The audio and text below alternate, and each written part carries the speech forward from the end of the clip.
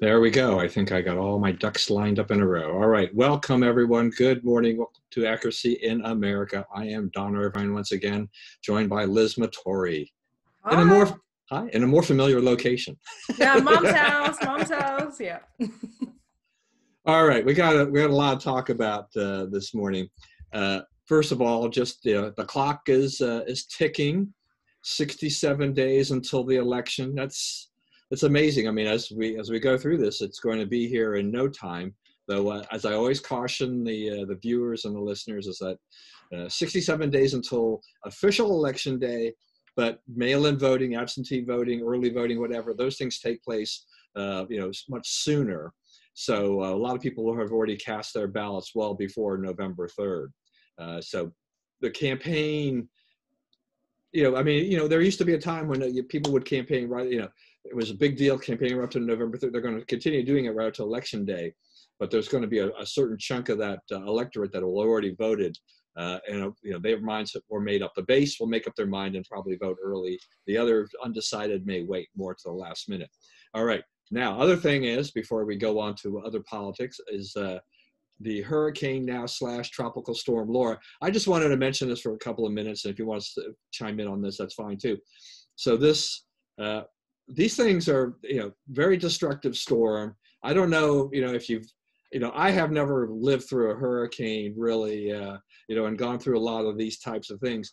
But you know when you when you look at the categorization of how how it's done you know category four that's pretty severe. I mean i think it only goes up to category five. So the winds get up to like 120 150 miles an hour. You know you can shelter in place but if you're in the path of that storm, this is pretty tough. I mean, it you know it it's pretty devastating. Uh, though I did see at least that this seemed to be more of a wind event than a water event. Though the low-lying areas, you know, Louisiana's got a lot of low-lying areas, even as it gets up into that northern section. Uh, so it, it's still a very devastating type of a thing. But you know, the Gulf Coast areas, whether or not you're on the Louisiana side or the Texas side, they got hit pretty pretty hard so far, I think I've seen the death toll was about 14, which I think is remarkably low for something like this. I think we're going to get the aftermath of this storm tomorrow, I think, with a lot of rain. Uh, but, but thank goodness, thank God that uh, there wasn't more destruction and, and more deaths out of this. Absolutely. And un- unfortunately, we're in the middle, Eh, the beginning of hurricane season. So we were just talking about weather in August, you know, we, we can see it at, through September and, and I don't know about October, but we do have to be prepared. And I think, you know, these are moments where I know this is a political conversation, but you hope that this should be nonpartisan. You know, people can focus on what they need to do in order to stay safe and then you know and heal. Uh, but I, I, pray my big prayer is that obviously people are safe but also that um, we are sort of neutral when it comes to the political um, angle of um, you know natural disasters yeah, no, very good point. And you know, I, I, really feel for anybody who has been in the path and has has been affected one way or the other by this, because you know our country is already reeling from a global pandemic, and we're still struggling with a lot of things. We still have high unemployment and a lot of other issues. The economy is kind of just bumping along, but it's kind of, we're struggling. And you know, to have a natural disaster on top of all that, you know, that can be very devastating. I mean, a lot of times the emotional state, the mental state of a lot of Americans is already getting pretty low. Yeah. This does not this does not help the situation, but absolutely, this is not a partisan event or should not be a partisan event of any kind. We should all mm-hmm. be able to, you know, go just come together mm-hmm. and help those that need to be helped. Yeah. All right, now moving on to politics because that's all it is these days, it seems. We just had the conclusion last night of the Republican National Convention. Uh, definitely a little bit, you know, I mean, the, both conventions were, were unorthodox by the fact that they were forced to go virtual. So that was already one thing that was going to be a little bit strange and weird for, for the conventions. The other thing was, is that uh, the Republicans, you know, Donald Trump, President Trump, uh, they used a White House backdrop uh, for not just Melania Trump and her, her speech the other night, but also for President Trump's uh, grand finale last night with fireworks on the mall. Uh, I don't know. I don't know how much you watch of either convention. We haven't talked for a little bit. I like to get your feel for what's going on here the last couple of weeks with both these conventions. Yeah, so of course the convention scene, if you will, is very dear to my heart. I participated in both the Democratic convention in 2012 and then fast forward in 2016 in uh, Cleveland for the Republican. So, you know, I know a lot of people who are involved in particularly mostly the Democratic side still. And, you know, like a lot of effort um, is put into the convention. You know, obviously, we have friends who are delegates. Um, this is a very important. These these weeks are very important to our respective parties. So there's a lot of you know business conducted. It's not all like all the bells and whistles. So my hope is that both delegates and uh, on both parties were able to get what they needed to do in reference to business. But at the end of the day, it is a show, correct? You know, it is the one time where the people who aren't partisan hacks like we are, you know, um, see what the parties have to offer. You know, it's on primetime television. It is, you know, a show to, again, showcase what your party offers to the, I would say, undecideds. It also rallies your base. I'm sorry, I tried tried to watch the Democratic um, convention. I literally fell asleep. Like I felt so bad. I was like Eva Longoria, for example. I remember she was a very active um, surrogate in 2012. Um, I remember, you know, her like being uh, pushed, you know, you know, through the um, the crowd while we're trying to sell T-shirts. You know what I mean? Like, you know, like I was like, you know, T-shirt girl, right? So, um, you know, I was concerned that they haven't moved past the Hollywood elite. And again, like you hear that as a soundbite, but when you know the backstory to it, um, that's also the sort of the the the problem with the Democratic Party. I would say the Democratic Party establishment. They have forgotten the average citizen. That is the whole problem. So they didn't think of, oh, how does this come off? Like, we're trying to engage these folks in the Democratic side, it was more like, we're going to tell you what you need to know.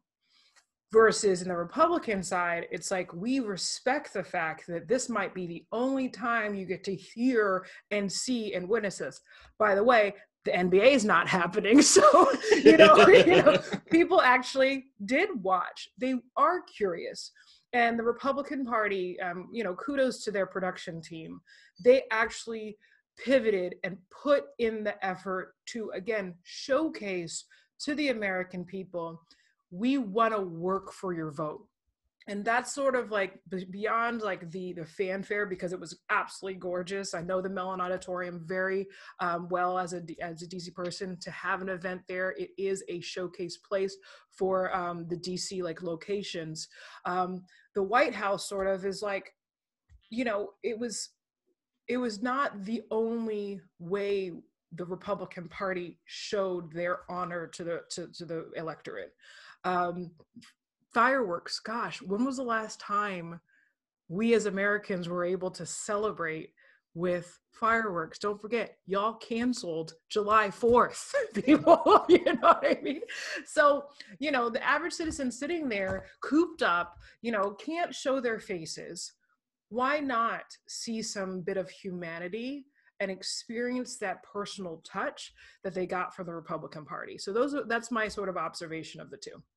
Yeah, that's good. I mean, I'm going to say this. I feel a little bit triggered by being called a partisan hack by a conservative. Well, I was, I was. I, mean, I, I say that, I say that in the loving way. And when I, I know, said that, I, I know, like, I know, I love it. It's like are, I think that's the first time I've been called a partisan hack. Yeah. If you would, even if you do air quotes yeah, by a conservative, yeah. it's pretty funny to me. Well, meaning like we live and breathe but it's true. politics.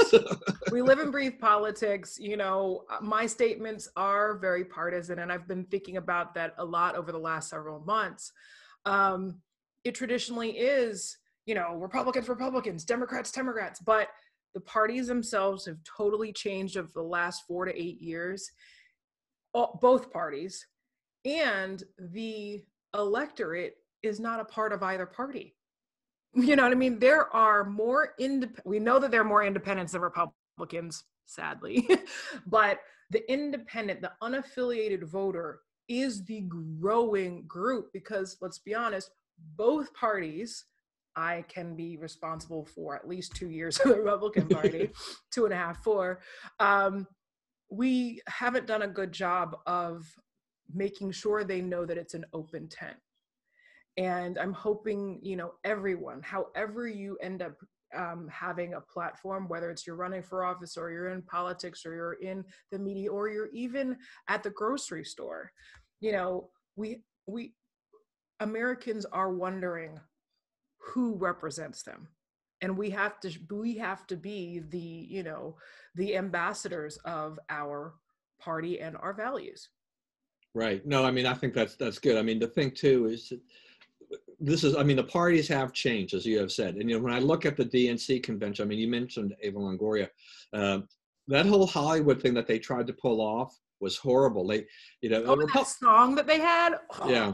Yeah i mean I, I realize that the Democrats in Hollywood, they they really are kind of you know joined at the hip. They're very close, but I, I, they they they didn't do a very good job this time around of using those Hollywood stars the right way or the way they could have. Now Republicans, you know, had the advantage of going second, so they could watch and they could see, and I think they did pivot and adjust a little bit. You know, I don't. I none none of us were really in the planning sessions and knowing what the what the RNC was planning on doing before the DNC aired, you know, their convention.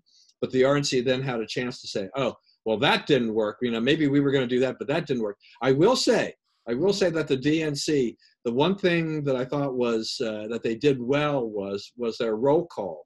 Their roll call by presenting it with kind of the backdrop of the different states like they did nice. was far better than the republicans just kind of going through the lines and just doing the standard thing kind of thing that they did mm-hmm. so i give them that but but overall uh, you know it's kind of like what van jones said about the about the biden speech is in the in the anticipation is that you know we're hoping that he doesn't kind of blow it basically yeah. so that you know they they had a low bar for for Joe Biden at the beginning yeah. and he just had to achieve that low bar because they were on pins and needles they were worried that he was going to screw up and they were going to go right into the toilet you know at that point in time at, you know at, at a point where they have uh, theoretically, at least by by most polls, you know, a lead narrow or large, depending upon what poll you look at. Uh, you know, and, and so you know he was kind of in the driver's seat. So you know, Biden played it safe. He gave what about a 14 right. minute speech. He didn't he didn't set anybody on fire, but he didn't. You know, he, the, the DNC to me they came out of that with to to me if you look at it, it's like so what is their message beyond? We don't like Donald Trump. Donald Trump's a bad guy. Vote for me because Donald Trump's a bad guy. Well, again, like having just left the Democratic Party in 2014 15, this is the issue that I had an issue with from the from the jump. You know, they did not invest and they still have not invested in the next generation of Democrat leaders. Kamala Harris is a whole nother conversation, but Tulsi Gabbard, you know, um, um, the lady from Minnesota, I'm, I'm, blanking on her name now, but you know, even uh, Klobuchar, exactly. Um, you know these two just those two women alone um yeah, Buttigieg is a whole again a whole nother story. He's kind of skews progressive, but the people who have really been in the fight for at least 10 to 15 years, they literally pushed to the side through the primaries. Um, and then they're like, okay, well, we're gonna you, they force fed. I mean, more shoot, you thought that they force fed Hillary Clinton. This Joe Biden stuff is like it, it, it was i did not understand why they protected him so much over the last several months. Um, now i think they're sort of kicking themselves. I, I hope someone is regretting that decision because there are as much as i i i, I don't want to admit it but there is the next generation of democrat leadership before you even get to aoc that they are not supporting and that is, again, the demise of that party because if you're not building out that next generation, then you're stuck. And not only that, you are forcing registered Democrats, for example, to vote otherwise. It's and so it's like this is a problem that the Democratic Party created for themselves. Yeah, you know the other thing too, and, and maybe I'm wrong about this. I mean, the, you know, part of this too is that you know, as I think you may have mentioned a little bit, uh, that these events also is a way to showcase their future stars. Yeah, yeah. And I know that they put a lot of people out there for the DNC, but I'm not sure that this time around that we saw the future of the Democratic National Party, the Democratic Party, with this. I don't know that any. I don't know if any of these people hit it out of the park. I mean, yeah. you know, I can think about Bill Clinton. I can think about Barack Obama, yeah. who, you know, when you when you heard their speeches when they first came on the scene at the DNC, you're like, okay, good politician, good speaker, whatever. Yeah. You know, these guys have got a future. Watch out. I'm not. I'm not sure. I came away from that at all. I'm still trying to think about did anybody set themselves apart. I can't think that anybody did. No, because the future of the Democratic Party is a Republican nominee. I'm sorry. That's what happened. You know, and again, like I'm, you know, we didn't get the fanfare of this year, but at the same time, it's like we already created that history. You know, that legacy, they created me.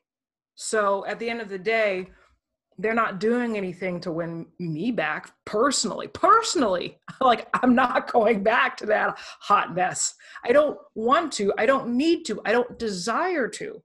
On top of that the republican party a party that i had no clue about quite frankly has been welcoming has helped me grow intellectually spiritually. And yeah they nominated me after 2 years of joining the uh, the, the party because they understood where I was coming from.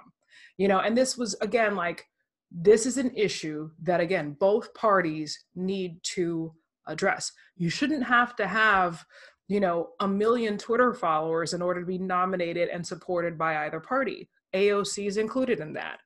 When you put fame above, you know, a foundation, then you're you're again stuck with what you end up putting through um, you know the the process. Um, rand paul for example i'm sorry he hasn't really been encouraged really to to grow. Um, uh, jordan you know there's so many people in the republican side that are the next gener well, next generation is a, is a very broad term. I mean. Gowdy is out is, is out of pol, you know partisan politics really. Um, Chafee, you know, I'm just thinking about the different people who over the last four years we're really missing that their presence in the fight.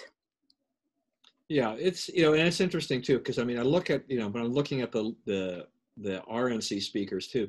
I think you know, we had a you had also the way the media covered these things. I mean, oh goodness, with oh, with word. the with the DNC convention, you know, with Michelle Obama's speech on the opening night. I mean, MSNBC was falling all over themselves to praise her. It was the one one of those interesting things though was that you know AP had to call her out because she mentioned the kids in cages kind of a thing as trying to get at Trump, but AP had to point out, uh, which they pointed out before, is that you know that the picture of this came in 2014 when her husband was president right. as well as they weren't cages they were these chain link fence uh, operations and things like this mm-hmm. and so she had misspoken on this but nobody except the ap called her out on that and yet it got very little play on that i saw the washington post did some they did some correction uh, fact checking on joe biden's speech mm-hmm. but i really didn't see that being picked up anywhere whereas uh, with the Republican National Convention, uh, CNN and a lot of you know and, and, MSNBC, they were trying to do you know live you know fact checking, you know unbelievable because they were ready they, they were ready to pounce on yeah. on all these things, but you know I I think even the media had to you know they couple things is that they look at Tim Scott and they're like okay he gave a great speech okay I got to admit that even CNN praised Melania Trump mm-hmm. because you know she she did talk about you know, kind of the, the, the equality issue as well as the, you know, the COVID issue mm-hmm. uh, and things like that.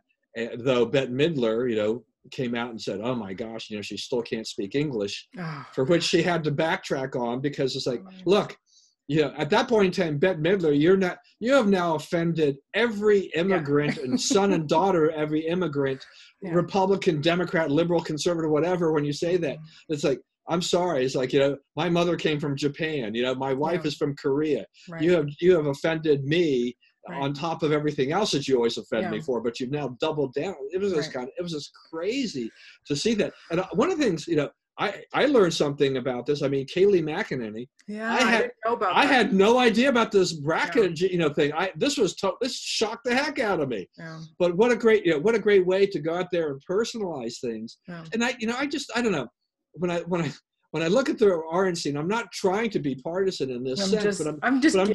I'm just trying to look at it and say, look, there's some personal stories. This is real America, Mhm. and and I just didn't see, I didn't feel the same with the DNC this year. Yeah, well, it's again, do you care about the electorate or don't you? Um, that's again one of the main reasons why I love the Democratic Party. Push comes to shove, they only govern over with rhetoric. You know, they want your vote, but they don't do anything the moment they get your vote.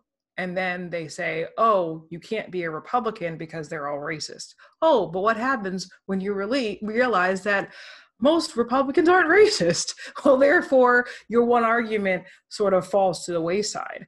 Um, again, with all the, ev- I can't even speak to one of the speakers because each one was like, "Oh my goodness, I'm crying. Oh my goodness, I'm crying." like, you know, and and this is such a, it it it is about emotions, right? I mean, you wish that it's not, but let's be honest. I mean, part of it's partially about uh, emotions, but again, we also coupled that with the policies. Um, I'm talking about the remember the Chinese um, defector um, that was beaten for speaking up about the one one child policy. Um, he was uh, blind and he was talking in, with braille, uh, reading in braille. I'm like, come on, if you can't, you put. We basically were able to put faces to concepts um, that again the average voter needs to know more about the truth. Like, for example, Abby Johnson. You know, I have a connection with Abby Johnson, and, you know, most people haven't seen Unplanned. Some people have. You cannot hide that six minutes on a national primetime stage of the message of the truth about abortion. So, those moments have now again entered at least a little bit in the conscience of the average citizen that is what that's what's effective. You know we already know that rachel maddow is going to sort of like trying to destroy even someone like melania trump but if that viewer heard and saw real time the speech they're now comparing their emotional connection they had with Melania Trump to the opinion of Rachel Maddow. So once you start seeing how many attacks, you know, they the, the left is throwing at these people that we were able to see in real time, you now in your conscience gets to determine what is the truth. Do I believe my eyes when I when I see the truth about how sincere President Trump comes off? You know, I think I don't know if you want to talk about this now, but like his presentation la- last night was so crisp. The timing was like, man, oh man, it was just so. It was there was a little classic Trump in there when he was like, and you know, President Biden, you know, shook the hands of some of the service members and gave them kisses too, and it was like, oh my gosh, we know what he's talking about, but again, he he has a way about him that again when you ignore or just put aside a little bit of the negative coverage you see for yourself and you experience um, that connection with the republican party the the speakers president trump as well Yeah, I mean, and I think, yeah, I mean, the Republicans. I mean, when you're the when you're the party in power, you have a little bit of advantage potentially. And President Trump is he definitely knows how to take advantage of the things that he has there. You know, I'm not sure about the propriety of using the White House and all those things. I mean, he and he and the and Vice President Pence are not subject to the Hatch Act, but you know, just throwing out there, I I don't think that the Democrats should be investigating that because I think that's that's not a campaign issue that anybody is going to. Re- it's not going to resonate with anybody. Yeah. So I'm saying, why don't we investigate all of the or the last several administrations and how they use the White House in reference to campaigning? Why don't we investigate if the Obama administration, you know, spied on the Republican nominee and, you know, president elect from the White House? Let's put it all into perspective. You know, right? I mean? No, I mean, and that's right. I mean, I think this is. I think that's one House. of in that's partisan yeah. means. Yeah, that, I think that's. I think what you're saying there is that's one of the dangers if they go down that path. Then it could be a Pandora's box for them of saying, okay, you want to focus on Trump and and what they did there, but let's go back and take a look back, you know, over the last, you know, 8, 10, 12 years, whatever, of other presidents and other things that have gone on behind the scenes that mm-hmm. may have also been Hatch Act violations that were not known. Do you want to mm-hmm. go there? No, I don't think anybody really wants to go there. Do we? Do we, as the public in general, uh, understand that there's probably some of this going on? Yeah. Do I really care? And that no i mean it's sometimes it's hard to separate the campaign from the presidency sometimes when you're in that final few months and all that kind of stuff so i don't really i don't really think yeah. much about it uh, you know one of the one of the things i'll be curious about with the with how the republican system donald trump did this is that because president trump has been so norm breaking mm-hmm. throughout his administration is that despite all the you know all the kerfuffle all just the kind of the the fight back the you know the blowback from the democrats and the media about this is that you know he may set a new standard where other presidents you know democrat next time to come around uh, may decide to do the same thing. I just want to i just want to remind conservatives that should that be the case should should the next democrat president and we will get one in time because it's history is going to move back and forth with us that if they decide to do the similar type of events we cannot complain. We should be able to say, okay, you know, Trump did it. He set the standard. That's where it goes, and don't complain about it. Though I don't think that you know Trump's showmanship is very unique. Right. You know, in that in that way, set aside that not every president can pull this off. I was listening today uh, on a podcast that just happened to pop up. The Reagan Library sends these out once a week or whatever. But uh, on this week's, they actually replayed the 1992 uh, Republican convention speech by oh. Ronald Reagan in Houston. Mm-hmm. Terrific speech. One, you know, he he was he was diagnosed with Alzheimer's in 1994. So th- there was not a lot of lot more Reagan we got after that convention before mm-hmm. he wrote his Alzheimer letter and and withdrew from public life. But you know, it just reminded that's another guy that could have pulled it off, right? Right. That type of a thing. Uh, but you know, I will say, I mean, my my issue with Trump really is the fact that I think his speech, you know, he could have done this in 30, 35 minutes and been ex- even more effective because he tends to go to me a little bit too long with a lot of stuff. He, mm-hmm. There's periods in there where we don't really need stuff and he could have tighter speech. I wanted, I wanted a, for me going in, and I had said this last week on Dr. Politics show with Dwight and Mark and the others mm-hmm came actually I don't remember who was on the show last week. Keep the the, the cast keeps changing, but the uh, I had said that you know I I wanted a more Reagan-esque type of speech, given that it's Donald Trump speaking, but one that one that really kind of sets soaring type you know things and, and really gets you going off and kind of puts the campaign in a different mode.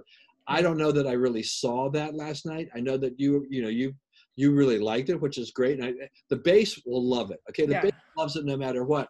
But what was interesting is that uh, on Fox and Friends this morning, Fox and Friends first, I guess it was even this morning, uh, Lee Carter, who comes on occasionally, and she does uh, these. Uh, they, they look at these speeches and then they grade them. They they basically oh, have yeah. they have Republican, Democrat, Independent, and they they have a chart that goes as people are speaking and the whole kind of thing like this. So Trump's speech, every aspect of the Trump speech they analyzed from for the Republicans, none of it got an A. They got a B plus. Now the Democrats have been giving the Republicans Fs throughout the entire convention. Shows they had, you know, they were going to give an F even before that first word was uttered, right? So I'm not surprised with that. But he fell a little bit below the mark, you know, when they were doing their research on this. You know, nothing earth shattering. I mean, it doesn't it doesn't hurt him. And I think in the end, by going last I mean, when I listened to the 538 Politics podcast, even the 538 people who are New York Times based people, right? They're they work for the New York Times and other affiliates like that. their prediction was uh, that after last night that Trump still gets a bump. Biden got no bump. I was surprised that you know I, I would be surprised that anybody really gets a bump because of a virtual convention. It's a little bit different. We look, you know, we don't have the pomp and circumstance. Uh, but the Republicans did a pretty good job of trying to recreate some energy. You know, Trump, when he interrupted the roll call and he was there and there were the delegates there and stuff like that, you know, they're going like, you know, yeah, it'll irritate him if I if we give him 12 more years. And the delegates are like 12 more years, 12 more years. So, you know, this is stuff that's great. That that that sets Trump apart from others. Mm-hmm. Uh, but you know, now we're going to get down to the down and dirty. But if I, I think I still think if I were, I'm on, I'm the Democrats and the Biden people, I'm still a little bit concerned about my candidate and what's going to happen come November 3rd. You know, that evening, are we going to learn the results and is my guy going to win or is right. Trump going to is Trump going to sneak through again? Right. So again, like so many things were going on over the last two weeks. Um, if you know, obviously Kamala, um, I think they did two speeches yesterday, and uh, and Biden did one.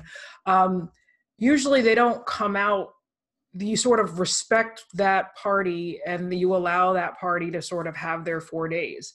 Friday, you'd probably come out and say something to counter the rest of the week. But for them to come out on Thursday morning, the morning of the president's acceptance speech, again, like they know they're losing, which is, again, I'm so, I, it, I'm almost sad about it, you know, but um, they know that they, that they, that they, dropped this one.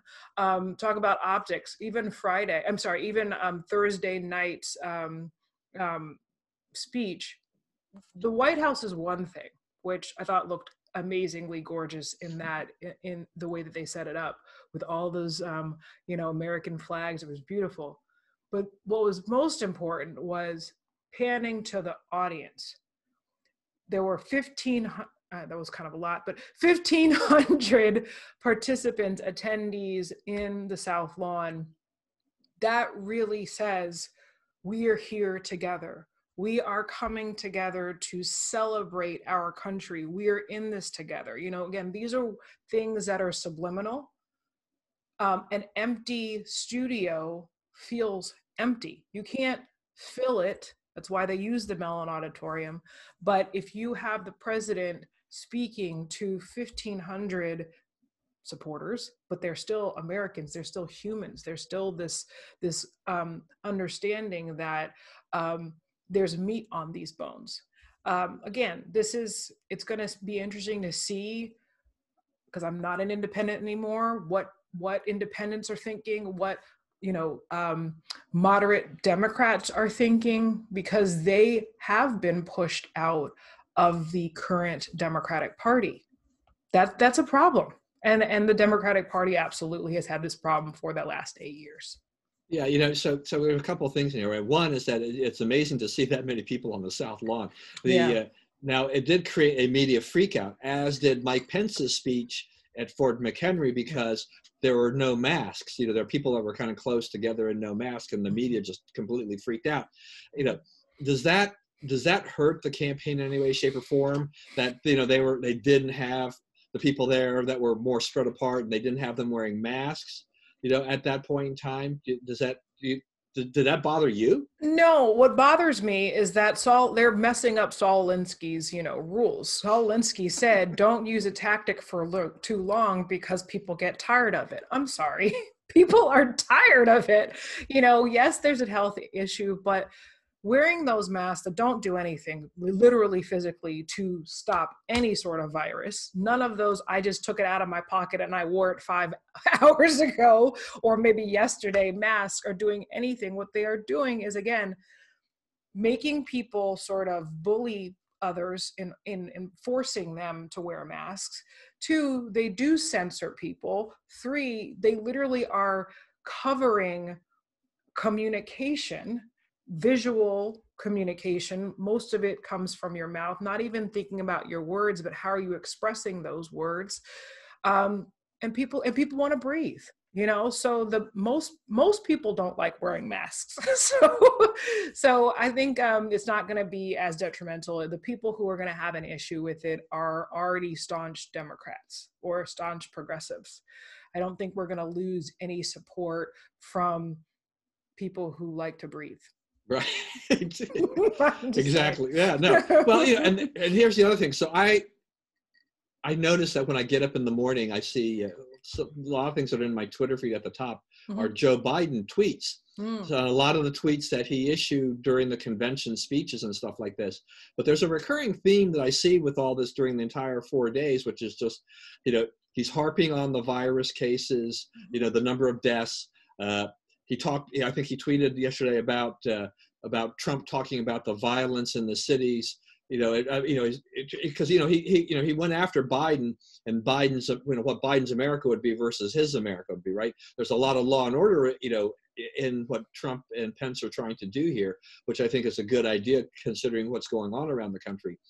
But I keep saying, you know, Biden, you know, he he puts these tweets out, but it's like remember who is running those cities where the violence is occurring? I mean, yeah. these are not Repub- conservative Republican areas. They're, they're liberal mayors, liberal governors in most of these places, and, and they have sat back on their hands and just let the protesters go. You know, I mean, we had that crazy, cra- another crazy, crazy thing with the CNN reporter. Uh, he, he's out there, you know, in Kenosha, mm-hmm. and he's talking about you know, most of peaceful protests. Now, he was trying to say during the day they were peaceful, nighttime things were changing, uh, but as that, but the chyron for CNN was like, you know, mostly peaceful protests, you know, in, in, in Kenosha, mm-hmm. and he's standing and there's buildings burning in the background, mm-hmm. and, and, you're like, you know, there, there this disconnect with right. the with the you know with the media and what's going on in real life is right. unbelievable. Well, again, it's again we we know about it. It's a tactic that media and politicians use all the time. If you don't talk about it, if you don't cover it, you can act like it doesn't exist. That's a tactic, right? Um, but it does, and people have their own eyes to see for themselves. Um, I was downtown um, yesterday. Um, I went with a couple of my friends. We were on 14th, and then we wanted to see the fireworks. So we were like trying to like hustle over, but we couldn't see it because of all the government buildings or whatever. But um, we ended up being like on the street when it was like at the at the end. So people were in the in the streets. Um, I didn't. I sort of felt uncomfortable because most of these gatherings don't happen at night. Actually, one of the elders that I was standing with, I was like, oh, you know, they are sort of, they're protesting. He's like, protests don't happen at night. He's like, civil rights protests never happen at night because once it gets dark, it shifts the cadence shifts automatically uh, in darkness and so even if there let's say 75% of people who are peacefully protesting that energy and that element in a crowd i think there were like maybe 200 people. I was between that and, and the willard hotel so it was like sort of that intersection. Um, if one thing were to happen all bets are off. So that's dc that's a federal city. We have you know 50 cops in one block. So it's like you know a very you know big presence with the law enforcement. But for the smaller cities and for cities that are encouraging this lawlessness and really this apocalyptic energy, this is what they want. They want people to get riled up. They want the, again, the negative energies to boil up. Um, but the cooler heads are the things, the people that should prevail. You know, that is, it's a, it's, it's really again backfiring. Their tactic is backfiring on them and they should not do it. right. And we're going to pivot here in a second, but I want to say one more thing on that, yeah. which was just that, you know, after, you know, after all of the, uh, the things happened on the White House, I mean, Senator Paul, Rand Paul, yeah. was they tried, the protesters tried to attack him. I mean, the yeah. cops had to, you know, kind of go around and protect him. And mm-hmm. he was very thankful for that. Uh, but but that shows i think that also goes to your point i mean that backfires i mean wait a minute you're going to you're going to go after us senator you're going to take it out on that i mean not only the he's the most civil liberties senator probably of all time. You know what I mean? Like he's the one who's pushed criminal justice reform for, since he's been in office. He's pushing the Breonna Taylor. He does not want no knock warrants. Like he's your guy, folks. Again, that's when they like the people who have some semblance of taking several step back. This is where you need to see this is the hot mess that we're talking about. This is the lawlessness that we're talking about. It's not racial, it literally is an energy that is being manipulated, especially if they can't even identify or have the wherewithal to know that Senator Paul is like your guy. It's ridiculous. All right, I want to go on to something because I do want to get your feedback from the for something that is happening uh, as we speak right now in DC. So mm-hmm. this is the the a march. It's been 57 years since Dr. Martin Luther King was in D.C. and gave mm-hmm. his gave his great oratory. But mm-hmm. the speech is called uh, this uh, the march is called the Commitment March. Get your knee off our neck march, basically. Mm-hmm. So that's going on uh, basically until about three or four o'clock this afternoon. But I I saw before I came on the show somebody had tweeted this thing out and uh, they already had some speakers and you know i don't know most of these people but there was a woman Shawnee Benton Gibson, I think is her oh. name.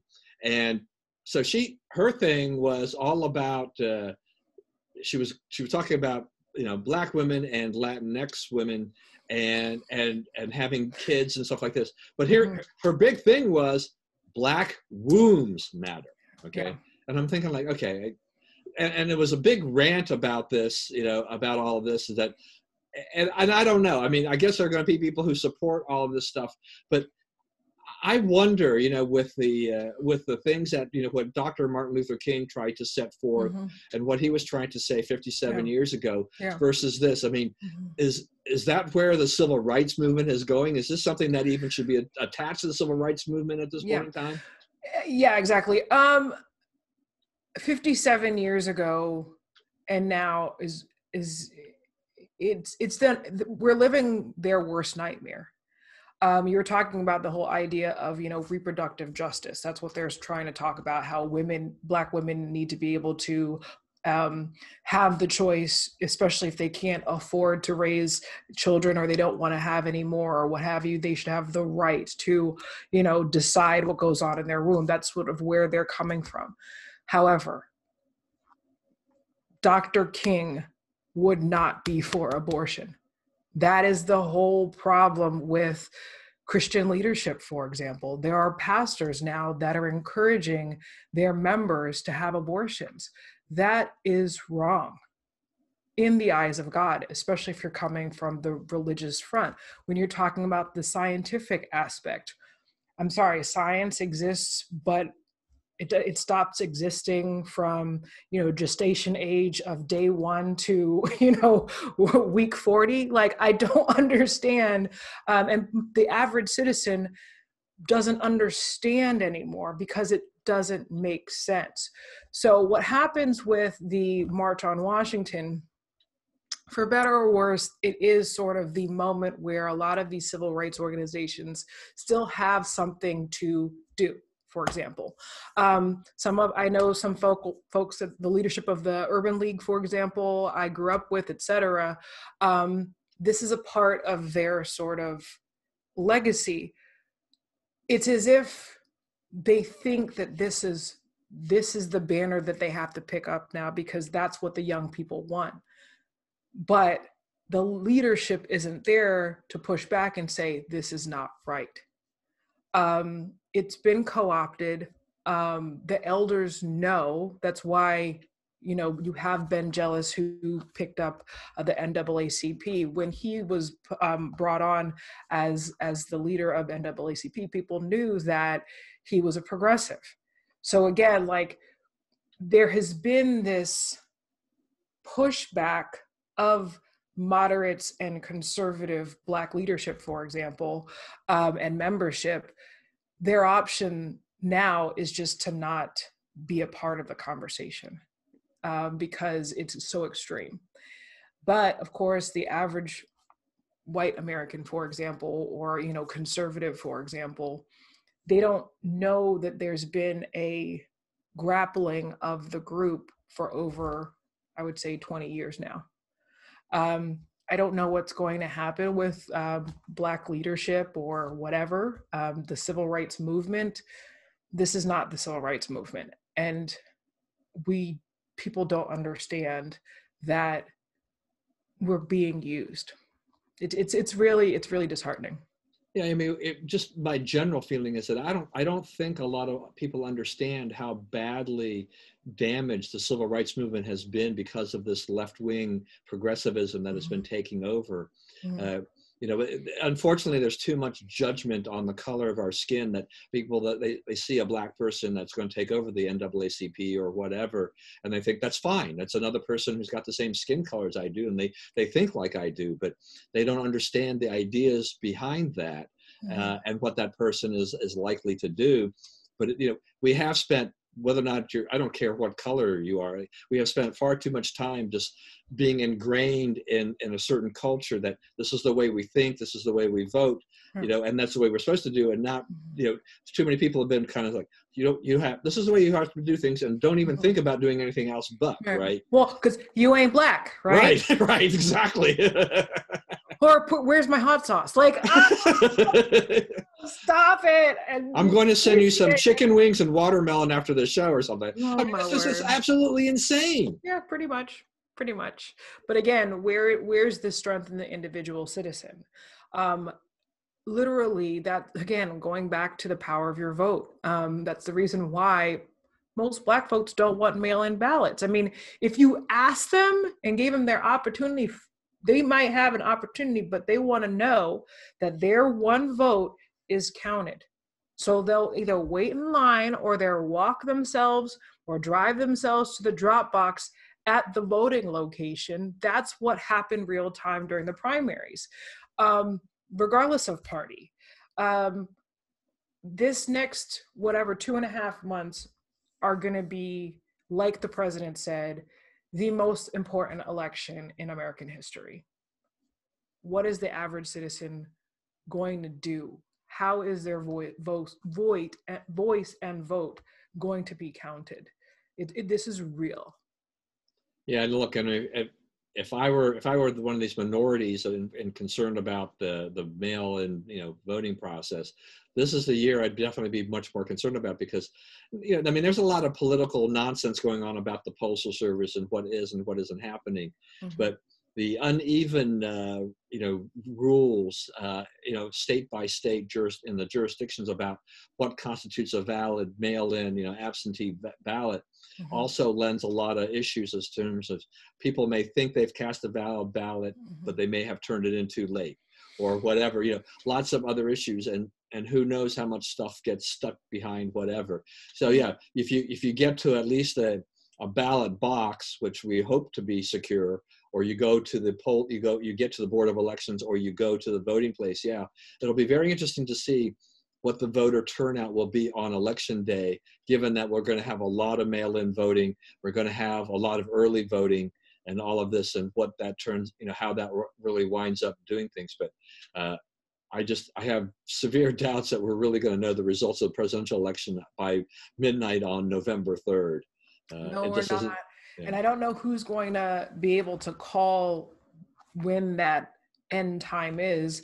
Again, Bush v. Gore. Let's talk about it. 2000 was another year where you know the Supreme Court which is not supposed to have a political question, they decided. And thank goodness, sadly, she's not around anymore. But Justice O'Connor literally made that decision. She was a conservative.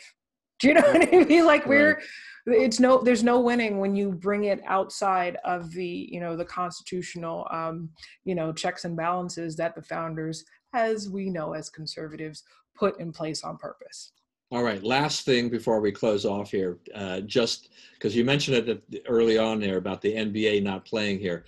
That, that, became, you know, that's become the big thing. Is that okay? So, so we we've watched sports personalities. We, we've gone back to the, you know, we started with Colin Kaepernick and kneeling for the national anthem, creating quite a kerfuffle in the NFL. That mm-hmm. seems, you know, that's that kind of worked its way through. It's kind of died down in essence.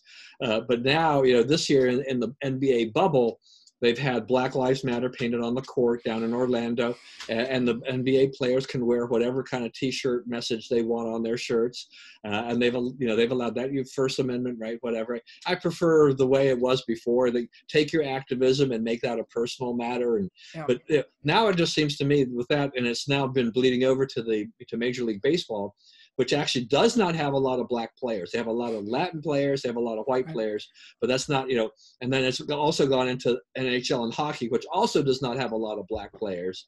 Uh, and they've all been postponing games and, and things like this. You know, I'm basically saying I'm about ready to throw my hands up on, on sports, watching professional sports uh, for the most part. I think last all I got left now is maybe golf and NASCAR. And, and tennis. Don't forget tennis, about tennis. Tennis, yeah, tennis. So we've got that. But I mean, this is I don't watch sports for political activism. You know, right. WNBA, NBA, none of that. I want to watch sports. I want to watch, you know, college football right now and college sports will seems seems to be still kind of untouched. But right. you know, I just I I see this as kind of a domino steamroller effect right. that that sports is going to get infected with this, and I don't know what's happening. But I don't know if this is the right place for it. I don't think this is the proper place. Right. So there are a lot of layers to it. There's um, again, Instagram, you know, celebrity culture, right? Um, one of the um, uh, Fox folks were saying that, um, are you a sports fan or are you a play a particular fan of a particular player? If you're a particular fan of a particular player, you like this. If you're a sports fan, you hate it, right? Um, there's individuals, most of them, if not, are all men. Most of them are fathers. I think that they have been they might have a personal understanding and appreciation for it. There also is pressure in order for them to take this very um, what what we know is radical, but what they feel is community based stand. Um, I feel that they are sort of in between a rock and a hard place, and if the people aren't very much pro the movement, they have to be a part of the movement in order to be again accepted into the group. Um, it's brainwashing to the to the worst degree, um, but also again utilizing our black male leadership in order to infiltrate the youth. Um, it's communism, but you know, at the end of the day, you know, I was going to say that, but um, um, but people who are participant of it, most of them are not aware. Um, so again, they ruined sports really because again, like you don't have you don't have people coming to the games. All they had was to watch it. And now they don't have their release. So it's a vicious cycle. It's like, you know, they where can people take a, t- a moment to take several steps back and calm down like no one seems to want to appreciate the bigger picture. Um, and and it's going to be really challenging and for it to hit it did hit NASCAR don't forget. Remember the the the um the hang knot? Yeah. Remember? oh so, yeah. yeah so i mean we'll see. If golf really um, has an impact well that's when stuff's going to hit the fan. Yeah you know and, and and as you said with with I think the I think the thing that made the difference this time around too versus the NFL situation, anything else, is that no fans in the stands means that they don't they don't get the immediate right. feedback and blowback. I mean, so people are watching on television or streaming these games and whatnot, but but I think that sports has hurt themselves. That when we do get to a point when we can safely have fans back in the stands, I don't. I think there, there's going to be a segment here that's been totally turned off by this political activism, that as much as they love sports, they're not coming back. Yeah, I remember the last last time I went to a Redskins game. Oh wait, a Washington, Washington football, football team. Washington football team game. Uh, oh, whatever. Um, was against the Raiders. I don't know which year it was, but it was one of the first um, kneel during the um, the anthem games.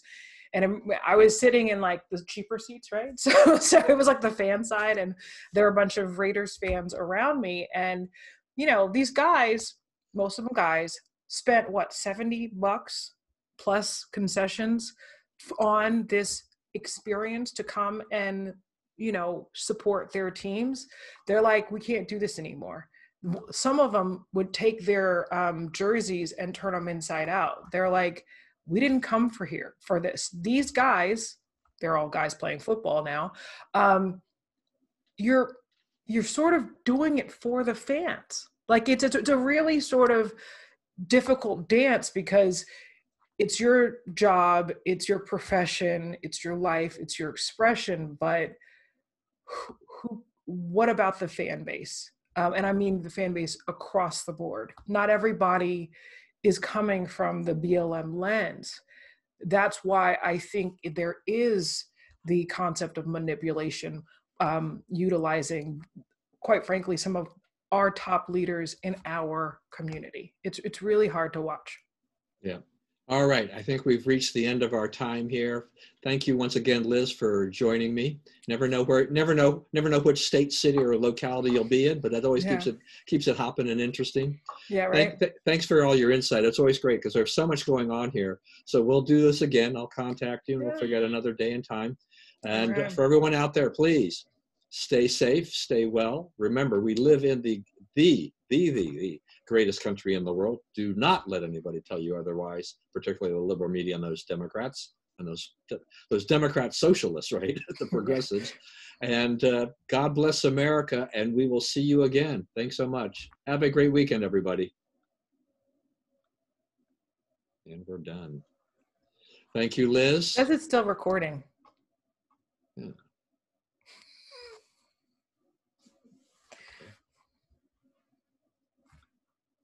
Why is this? Well, at least it's not streaming anymore, but is recording. I'm not sure what it's doing. I'm going to end this and then see what happens. okay. Bye. Bye. Thanks.